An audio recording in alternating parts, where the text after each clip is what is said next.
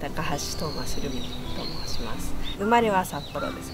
育ちは東京。で今子育てしてます。5歳ともうすぐ7歳になる男の子を育ててます。あとはヨガをご近所のお寺さんでヨガ教室をさせていただいてます。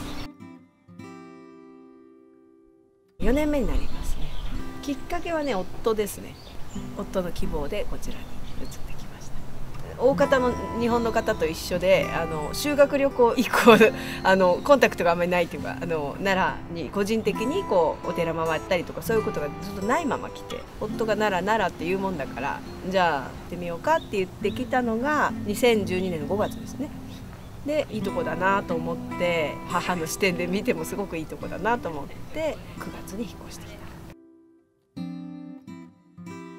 ご近所さんが素晴らしくて一回ね普段はあの夜のクラスの時は子供はベビーシッターさんに来てもらってるんですけどたまたま都合つかなくてご近所さん家に預かってもらって引き取りに行ったらねなんかお風呂まで入れてもらっててびっくりっていうか。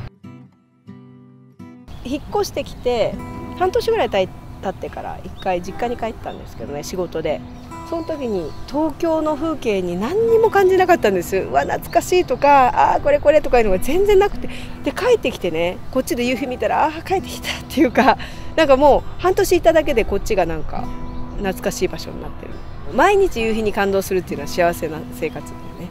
あとは時間の流れかな。ゆったりして。るふるさととして持っておきたい場所ですよね。だから戻ってこれる場所子どもたちが戻ってくれる場所をあの先々作ってあげたいな。